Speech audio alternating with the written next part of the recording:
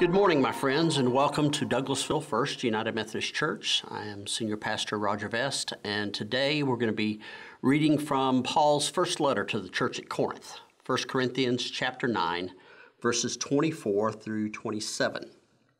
Hear now the word of the Lord. Do you not know that in a race all the runners run, but only one gets the prize? Run in such a way as to win the prize. Everyone who competes in the games goes into strict training. They do it to get a crown that will not last, but we do it to get a crown that will last forever. Therefore, I do not run like someone running aimlessly. I do not fight like a boxer beating the air. No, I strike a blow to my body and make it my slave, so that after I have preached to others, I myself will not be disqualified for the prize.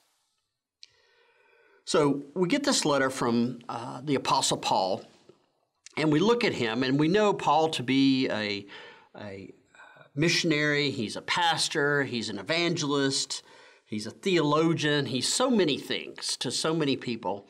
But today's passage, he sounds like your high school coach. He's uh, on the sideline. He, you're at practice, and he's like, "All right, you got to run. You got to make sure you're doing the right things at the right time in order to win the race. You've got to run like you want to win." And it, it makes a lot of sense, and we like to have that motivational speech. We like to have that motivation there. But today we want to look at what does it mean uh, to win the race? What is our goal? What is what is the race that we're on? As we talk about that. And this continues our series of messages called On the Run, dealing with a running and a race metaphor found in Scripture throughout. And it talks about our journey, our Christian journey, our spiritual walk, whatever you want to call it, um, our day to day life as we have, as we respond to the gift of salvation that we have received from Jesus Christ. And so uh, that is the gift that we have been given. And so our life and how we live it is our gift in return to Christ. What do we do? How do we do it? How do we prepare? Um, that all those questions uh, fit in with what we're talking about today. And so we look at the goal that is set before us. You know, you run to win the goal. You run to win the prize. What is that prize? What does it look like? Um, it is not, uh, our goal is not to work for our salvation because Christ has already accomplished that. Um, there's nothing we can do, nothing we can say. We can't pay for it, we can't earn it. It is given as a gift. And so, what we are looking at, uh, the goal that is, is living a life of gratitude, um, living a life you know, when you've been given a second chance, think about that. And you've been given an opportunity that you didn't earn, maybe uh, your first job, or somebody said something to somebody and they let you in based upon their recommendation, and it was total grace. And you you were there, maybe in a position that you didn't feel qualified for, but you were there anyhow. And so you respond to that gratitude by living your life the best that you can. You're motivated to do the best that you can to prove, in a sense, uh, that you uh, re- belong there, that you in- enjoy that. And so to be faithful and obedient to God's call in our lives. Um, and to live a life of gratitude for all that He has given us. That is our goal. That is our motivation. That is what our run is, what our journey is, what our race is. And the reality is, not everyone is going to complete the race. Not everyone is going to make it all the way to the end. Um, we're not saying that God's gift is uh, invalid, it isn't. Uh, God's gift is permanent, it is given to each of us, but what we do with that gift. Um, there will be some people who will complete the race um, and uh, they will hear the phrase from God, well done, good and faithful servant. But there are people who will run and who will wander away. Um, they will have received the grace and then, for whatever reason, will have let it lapse, let it, uh, will throw it away, will not do what they're called to do. So we need to be aware of what is our goal in the Christian journey. and really, and the next thing is we need to understand the, the worth of that goal. You know, um, think of it this way. Consider uh, there's a, race, a 100 meter dash, all right? And the prize is $100, all right? You know, I, I, I could do, use $100. You know, I think you could too. Um, and so there's a certain motivation there. But what if right before the race, uh, the official comes and says, no, the prize is not $100, rather it's $10,000. Um, your motivation suddenly changes, doesn't it? Um, you know, maybe your adrenaline starts pumping. You start thinking about, okay, what can I do to get out of, out of the blocks quicker? What can I do to better to give me a better chance of winning this race because all of a sudden the goal is worth so much more than it was before. And what if you knew about the increased prize months before? You know, would you prepare for a hundred dollar race different than a ten thousand or a hundred thousand or a million dollar race? I think most people would.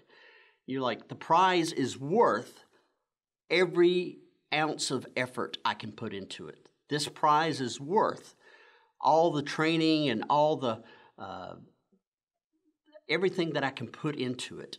The prize is worth that.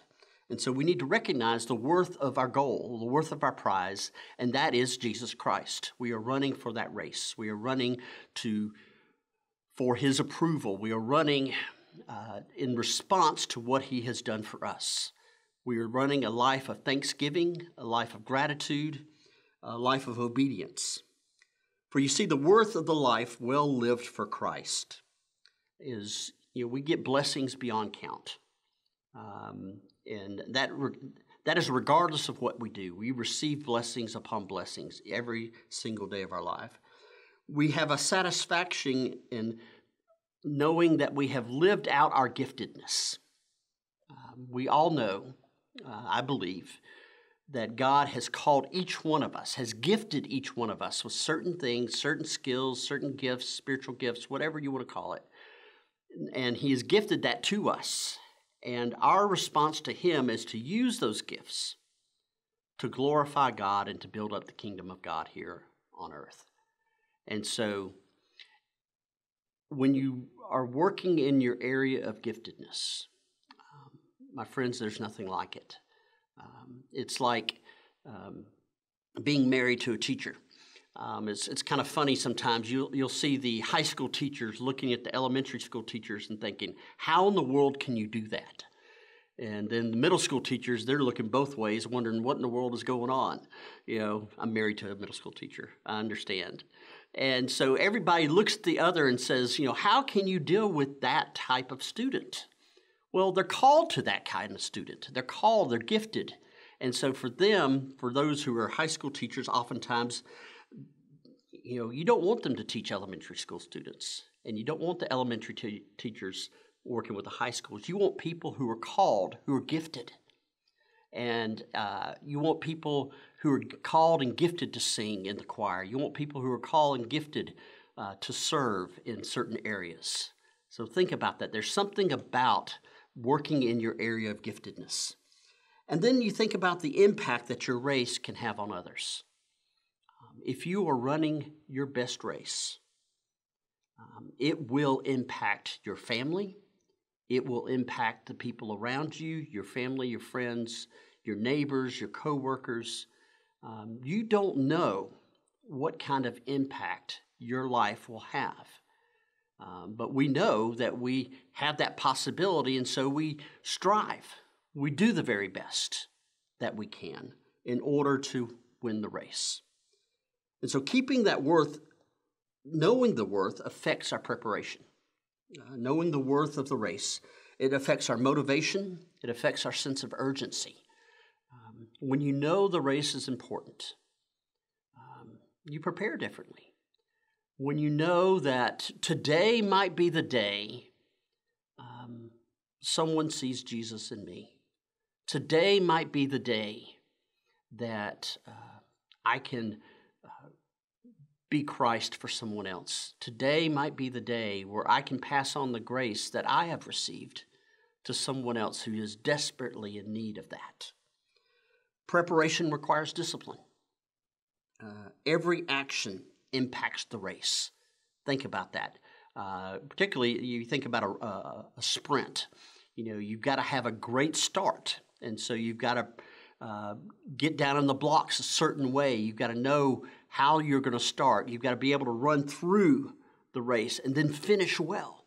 Every step along the race has an important part of completing the race. And so, how we wake up, what do we do to prepare? How we live our lives, what do we deal with anxiety and worry? How do we deal with anger and bitterness? How we deal with people that don't like us or people we don't like? All of these things come into play, and we, it affects how we win our race, how we run our race. There's a willingness also, knowing the worth, um, there's a willingness to surrender lesser goals in order to attend to attain the higher goal. Um, if your goal is to win the race, you know, there will be times when, oh, I just need a little break. And, and, you know, there, there will be breaks in between the race, and you need to have that rest. You need to recharge and renew. But there are times when we're just lazy. You know, when we're like, oh, it, it doesn't matter today. I'm going to let my guard down. I'm not going to do what I need to do. You know, um, I, I, just want to feel good. I want. I, I need this. This this will help me. You know, and the focus becomes us rather than the race. And if we are willing to say, I'm going to let that satisfaction, that happiness, that um, good feeling aside, I'm going to set that aside because I really want to win this race the race of living my life for Christ, the, the race of this journey, the spiritual journey that I'm on. I want to do well in this race. And so I'm willing to set aside some of these other goals, some of these other prizes so that I can win the ultimate prize. And so the final question is Are you ready for your race? And, and here's the thing a lot of us will say, No, I'm not. And, and there's a, a sense of honesty there.